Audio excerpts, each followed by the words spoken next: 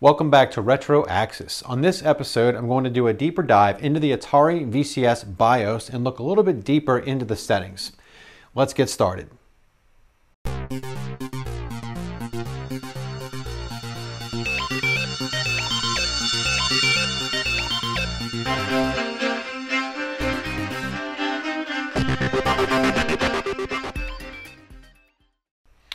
So a few days ago, I unlocked the Atari VCS BIOS password by looking into the EFI firmware and finding that. If you haven't seen the video where I went through and recorded every single option, you're more than welcome to do that. It's a very long video of just me clicking around and looking at every single setting. And it's there just for you to explore, hit pause, look at the settings, and decide what you want to decide about the settings.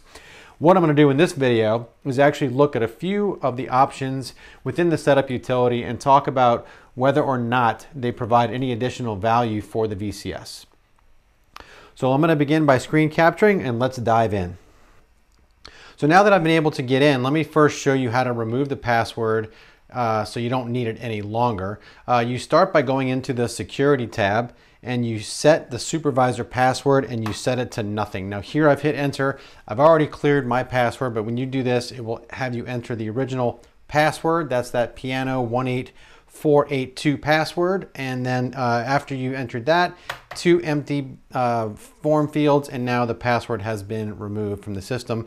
Now you do have to save and exit in order for that to, to take hold, but uh, that is how you clear the password. So regarding this BIOS, here's what I've learned so far. Now there is a tremendous amount of advanced features and settings and things in here, switches and knobs that I will probably never touch. And I would imagine 90% of you probably will not either. Uh, now what I think I also understand is that this uh, BIOS also appears to have features uh, of the CPU uh, that can be tweaked that the Atari VCS mainboard does not actually support. So there's quite a bit of settings and things that probably don't even apply to this actual hardware, which is why I suspect the password was there in the first place to prevent us from making mistakes and potentially breaking the machine. In fact, it's interesting, there's certain settings that if you attempt to turn them on, you actually get a warning. So here's an example. Here, under the DDR setting, if you go under Common Options and you go to change the timing, you're presented with a warning that indicates you could potentially damage your processor and void your warranty.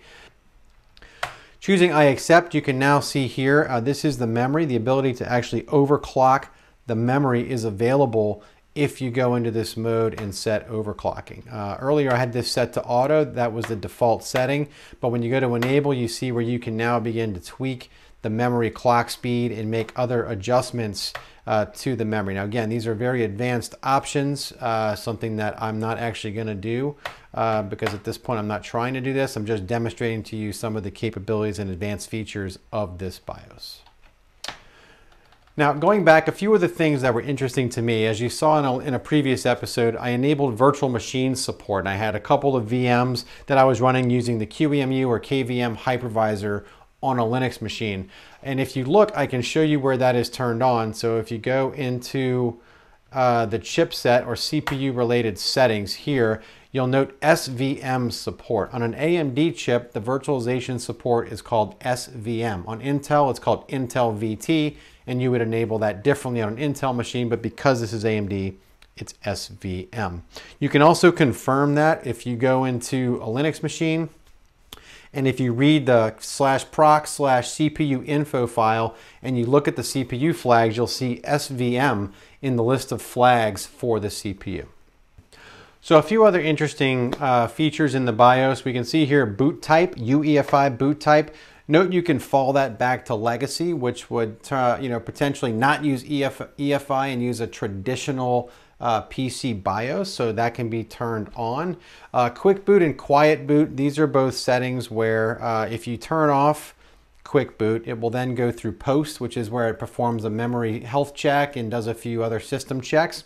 Quiet boot actually prints that information out to the screen. So rather than just jumping you right to a, a blank screen and then loading the OS, you'll actually see some information if you turn off quiet boot. Now another thing that I think is really great that this has is PXE boot capability. As you know, this does have an Ethernet cord uh, and so you would have the ability to net boot uh, this from a remote server, uh, which is really a nice feature. So another one of the things that I've been asked about quite frequently is adjustments to the graphics card or the GPU. I haven't found too many tweaks, but let me just show you what's available here in the BIOS. So firstly, video configuration. Um, there's not much really you can do here. This Raven 2, uh, there's no other change to this particular setting. You can disable HDMI audio.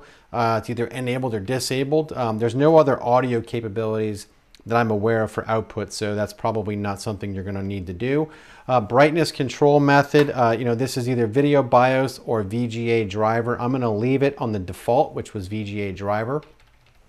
Um, so really, you know, that's it really for the for the GPU and graphics settings. There's not a whole lot else there uh, that you can tweak. There's nowhere I can find video RAM allocation. Um, so unfortunately, I think we're I think that's all we can do with the video RAM.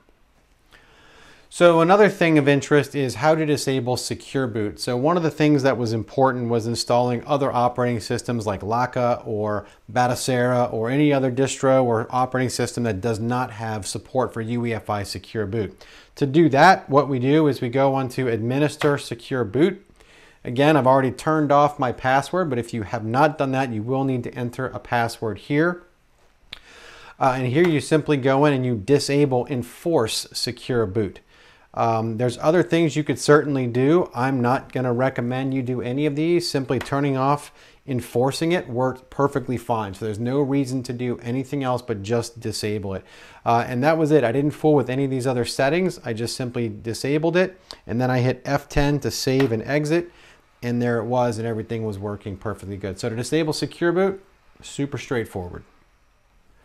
So that's it for the exploration of the Atari VCS BIOS. I hope you learned something uh, from this video. I certainly had a lot of fun exploring and, and, and messing with this. It's been a, quite an adventure with this little box.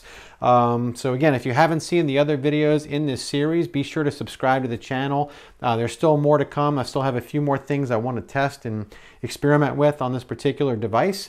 Um, there's lots of really exciting things that the community is doing. So if you're not involved, uh, looking at AtariAge forums or on the Reddit forums, or if you haven't uh, happened to get onto the Discord uh, chat, highly suggest you do so. There's a lot of really great information, a lot of people doing some really neat stuff. Highly recommend you check that out. Uh, so again, uh, don't forget to subscribe. Leave me some comments down below. Let me know what you think.